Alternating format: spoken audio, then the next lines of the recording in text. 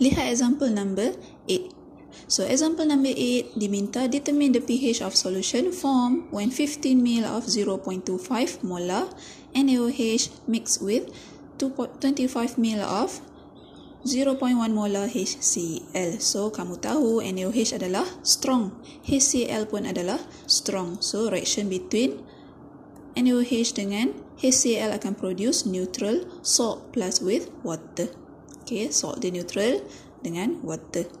So dekat sini bila awak jumpa strong dengan strong kita akan tengok jika mole adalah equivalent maka yang tinggal hanyalah water so pH kamu pH water sahaja tetapi jika pH kamu lebih ke arah salah satu bermaksud NaOH excess ataupun HCl excess bermaksud kita akan ambil yang excess untuk calculate the pH Okey, macam mana nak tahu excess ataupun limiting? Macam biasa, kita akan kira number of mole. So, number of mole saya letak sebagai number mole of initial. Eh. So, dalam strong, kita tak ada I stable. Kita hanya ada initial dengan final. Habis itu saja.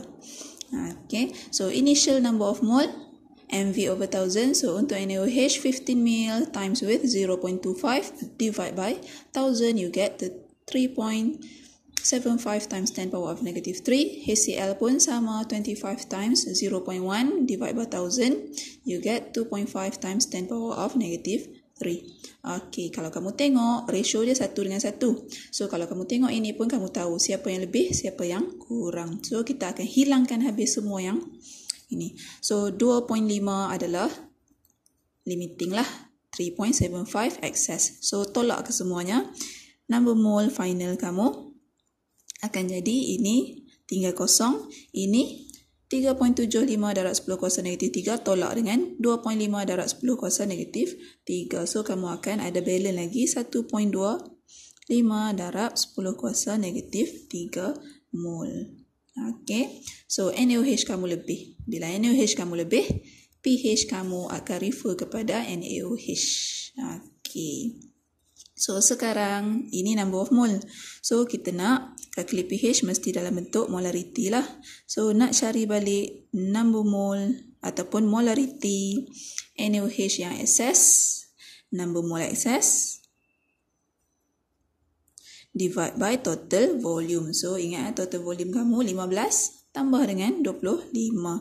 So 15 tambah dengan 25 dan bahagi dengan 1000. So times with 10 power of negative 3. So kamu dapatlah molarity kamu adalah